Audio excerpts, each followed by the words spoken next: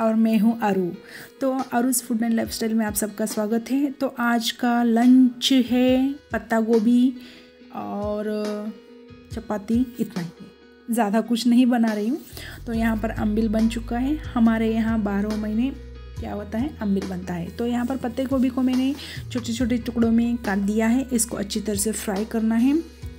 Fry करना है और बाद में इसको तड़का लगाना है। तो यहाँ पर हम दो तीन तरीके से बनाते हैं। तो इस बार मैं प्याज वगैरह कुछ नहीं डाल रही हूँ क्योंकि सावन भी लग गया है और चातुर्मास भी है। हमारे यहाँ प्याज, लहसुन कुछ नहीं खाते। तो इसलिए दाल को यहाँ पर भिगो दिया है। सिर्फ़ दाल डाल के ही मैं क्या करूँगी? यहाँ पर सब्ज़ी बनाऊँगी। तो यहाँ पर थोड़ा ट्विस्ट बनाकर मैं क्या कर रही हूँ? सब्ज़ी बना रही हूँ। तो इसलिए ज़रूर मेरे वीडियोस को एंड तक देखना। सो so फ्रेंड्स ये ऑयल में थोड़ा मैं फ्राई कर चुकी थी, लेकिन अब मैं इसको तड़का लगाने वाली हूँ तो इसलिए थोड़ा ऑयल डाल दिया और जीरा राही कड़ी पत्ता, हींग पाउडर और मिर्च, ये सब डाल के साइड में ही मैं क्या कर फ्राई कर क्योंकि यहाँ पर दूसरा बर्तन लेकर मैं नहीं बनाना चाहती, हमेशा मैं ऐसे ही करती हूँ, क्योंकि एक बर्तन बच जाता है जो साफ़ करने में लग जाती है टाइम वेस्ट हो जाती है तो वो बच जाता है। तो इसलिए ऐसे मैं हरकतें करती रहती हूँ ऐसे। तो अच्छी तरह से ये इसको क्या करना है फ्राई करना है और पानी बिल्कुल भी नहीं डालना है। तो इस बार ना ये सब्ज़ी बना रही हूँ ना, बिल्कुल ही अलग टेस्ट का बन गया था, क्योंकि इस बार मैंने क्या क्या डाला है मसाला तो देखिए, इसलिए बहुत ही ज़बरदस्त बन गया था, सबको घर में पसंद भी आ गया था। तो गरम मसाला डाल दिया, हल्दी डाल दिया और यहाँ पर आमचूर पाउडर डाल दिया। आमचूर पाउडर है। तो इसलिए उसका ना थोड़ा खट्टापन आ गया था, बहुत ही सुपर टेस्टी आ गया था, बहुत ही मस्त लग रहा था। इसको अच्छी तरह से फ्राई करना है, नमक डाल दिया। और यहाँ पर और थोड़ा नमक डाल दी। और अच्छी तरह से फ्राई करना है, शक्कर भी डाल दिया। हमारे यहाँ हमारे यहाँ है नहीं, मैं ज़्यादा से ज़्यादा क्या करती हूँ, शक्कर थोड़ा ज़्यादा ही डालती हूँ। पता नहीं क्यों, आदत अच्छी हो गई है।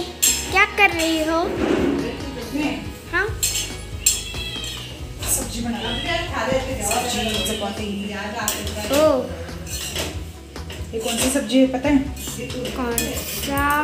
बताओ। पत्ता गोभी है पत्ता गोभी। मुझे पसंद नहीं। देखो भाई सब वेजिटेबल्स खाना चाहिए। आजकल कोरोना बहुत बढ़ रही है।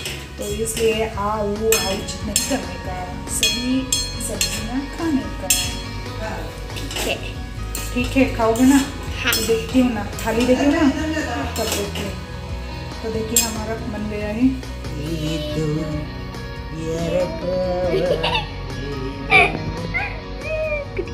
देखो यहाँ पर सब लोग बैठे हैं। तो ये भी आ गया हमारा किट्टू। हिट गया भाई इसका मन ही नहीं लगता है हमारे सिवा जहाँ पर हम जाते हैं वहाँ पर आ जाता है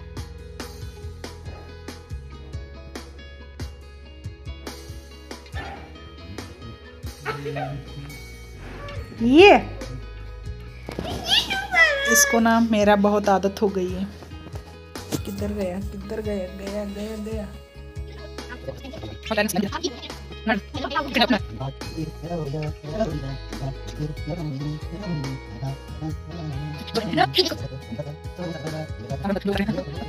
तो देखिए यहाँ पर मैंने टमाटर और प्याज को लगा दिया और नींबू और नमक थोड़ा ऊपर से स्प्रेड अड़गी मोड़ो वाले हो। तो मुझे कैंटीन जाने के लिए बोल रहे हो? बाप और बेटी दोनों बैठ कर ना मेरा मज़ाक उड़ा रहे हैं, क्योंकि ऐसे सब कुछ मैं कुछ तो अलग करती हूँ ना, ऐसे सलाद वगैरह बनाती हूँ ना तो क्या करते हैं, दोनों मिलके मेरा मज़ाक उड़ाते हैं और मुझे कैंटीन में जॉब करने के लिए जाओ बोल रहे ये सब देख कर ऐसे मेरा मज़ाक उड़ाते हैं। क्योंकि यहाँ पर सब्ज़ी में मैं प्याज नहीं डाली ना तो इसलिए ऐसे ऊपर से देती हूँ और हमारे यहाँ ना एक ही सब्ज़ी बनती है। हमेशा मैं एक ही बनाती हूँ, हमारे यहाँ कुछ रिस्ट्रिक्शन वगैरह नहीं है। एक ही सब्ज़ी काफ़ी है। तो इसलिए जब भी कोई आते हैं, मेहमान आते हैं, तब हम अलग अलग बनाते हैं। तो अभी फ़िलहाल तो खाना बना हुआ है तो चलिए खाना खाते हैं। और आप भी आइएगा खाना खाने के लिए, ज़रूर। तो ये दही है ना, घर का ही दही है। तो चलिए, देखिए ये हमारा थाली रेडी हो गया है और डेली हम दोनों मिलके ही खाना खाते हैं। एक दिन भी ऐसा नहीं हुआ कि हम अलग अलग खाए होंगे। तो ये ये वीडियो कैसे लगा फ्रेंड ज़रूर कमेंट करके बताना लाइक करना शेयर करना और सब्सक्राइब करना. थैंक्स फॉर वॉचिंग मिलते हैं नेक्स्ट वीडियो